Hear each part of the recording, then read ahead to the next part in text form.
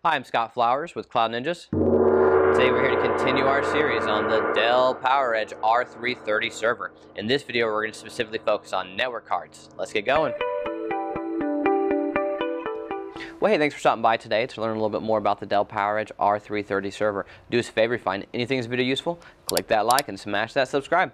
All right, let's hop into it. Uh, this video is going to be specifically focused on NIC or network cards. Uh, so we're going to compare the R330 to the rest of the series, and we're going to show you the options that you have. And at the very end, we're going to put up a list uh, that you can go through of just some of the acceptable cards that will work for the 330, and I'm sure there's plenty more. Um, and if you find some that aren't on there that you want to uh, drop a comment down for the rest of the users out there, that would be great. Uh, I'm sure people would love to know all the different options. So um, as a whole, uh, the R330, one of the differences compared to say like the 630 and 730 or 730XD, uh, which are very popular with the 13th gen, um, there is a built-in NIC. Uh, on the motherboard itself, all right? And it's two ports and it takes RJ45, which is Ethernet, and it's one gigabit, okay? Um, if you want to get 10 gigabit, which is, you know, definitely possible, you will need to put in a PCIe card and use one of the uh, PCIe slots in order to get 10, uh, 10, 10 10 gigabit, um, and there's two different options here that you can use.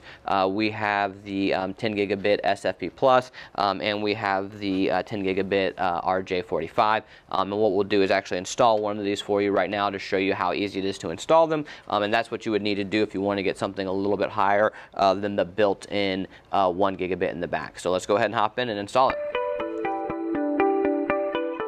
All right, so here are the two different options that we were highlighting. Now, technically, if you use a high profile, you can also get the four port kind, um, but this is the low profile ones that are uh, pretty common and um, normally what people are using. But again, uh, there's different options. So there is a high profile PCIe slot in the back, so I did want to note that. So, all right, now we're going to go ahead and install this right now.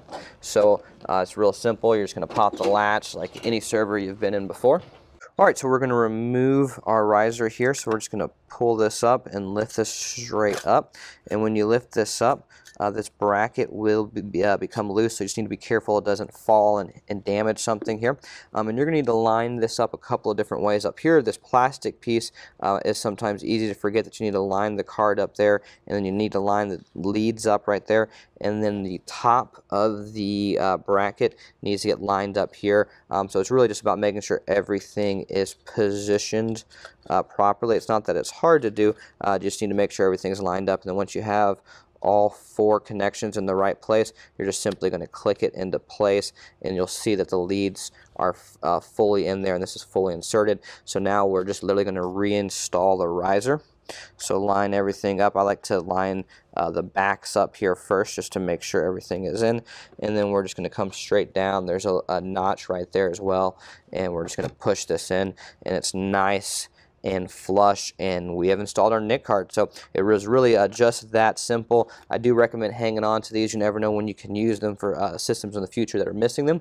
Um, and if you made it this far hey click that like smash that subscribe. And if you're interested in a custom built R330 or any other server for that matter we custom build both new and used Dell HPE Supermicro uh, uh, custom build ASRocks and Gigabytes. And we'd love the opportunity to earn your business. Please email us at sales at cloudninja.com that's sales at cloudninja.com Take care, guys.